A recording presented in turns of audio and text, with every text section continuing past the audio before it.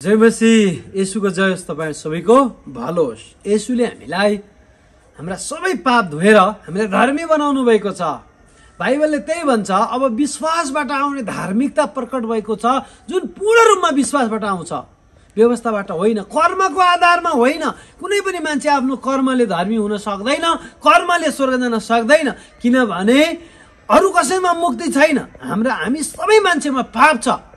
अनि पापीले अर्को काम गरेर धर्मी हुन सक्दैन। त्यस कारणले हामीले सित्तैको मुक्तिलाई ग्रहण गर्नुपर्छ। अनि त्यो मुक्तिदाता यसु प्रभु हुनुहुन्छ। उहाँले बाइबलले भन्छ एफिसी दुई अध्यायको आठ नौमा अनुग्रहबाट विश्वासद्वारा तिमीले उद्धार पाएका छौ। यो तिमीहरू आफैबाट होइन यो त परमेश्वरको वरदान हो। मुक्ति परमेश्वरको वरदान हो। धार्मिकता पनि परमेश्वरको वरदान हो सित्तैको।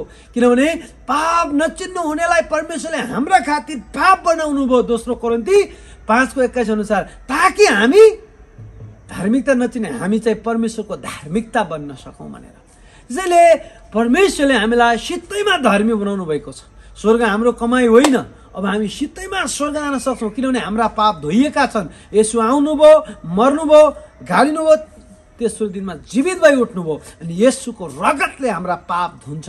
यसुको रगतले हाम्रा सबै अधर्मलाई पखाल्छ। यसुको रगतले गर्दाखेरि हामी नयाँ हुन सक्छौँ। त्यसैले गर्दा उहाँले हाम्रा पाप त्यसरी धुनुभएको छ। त्यसरी रोमी तिनको चौबिसले छब्बिसले र अठाइसले त्यही भन्छ। उहाँले हामीलाई धर्मी ठहराउनु भएको छ। अनुग्रहबाट हामी धर्मी भएका छौँ। यो उहाँको वरदान हो। त्यसैले गर्दा आफैलाई दोस्याएर कमजोर ठानेर म पापी हुँ म दुखी छु भनेर नजिउनुहोस्। यदि अझै तपाईँ पापमा हुनुहुन्छ भने पश्चाताप गर्नुहोस्। बाइबलले भन्छ यो के हुन्न एकको नौमा यदि हामीले हाम्रा पाप स्वीकार गर्यौँ भने उहाँले हाम्रा पाप क्षमा गर्नुहुन्छ। किनभने उहाँ पाप क्षमा गर्ने काममा विश्वासयोग्य हुनुहुन्छ।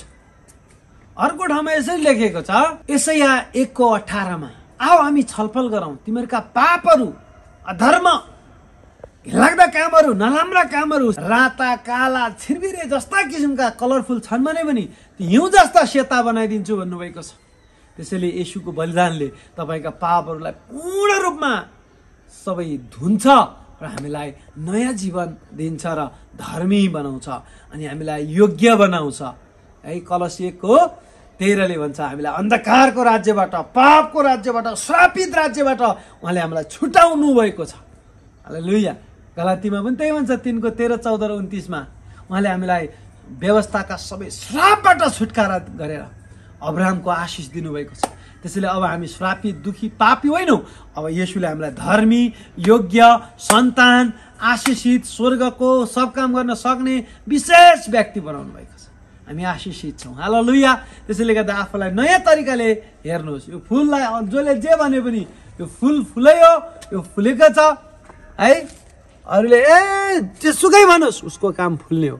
हामी चाहिँ धर्मी हौँ हामी योग्य छौँ हामी चम्किनेहरू हौँ। हामी ज्योति र नुन हौँ हामी सामान्य मानिसहरू होइनौँ। त्यसले गर्दा तपाईँ धर्मी हुनुहुन्छ अनि परमेश्वरबाट आएको धार्मिकता र मुक्ति सित्तैमा हो। यो हामीले कमाउन सक्दैनौँ। यसुको बलिदानबाट प्राप्त हुन्छ। त्यसैले प्रभु तपाईँलाई धेरै आशिष दिउन्। आफैलाई दोष नदिनुहोस्। यसुको बलिदानमा विश्वास गर्नुहोस्। यसुको जय होस्। तपाईँहरू सबैको भालो होस्। हालो लुया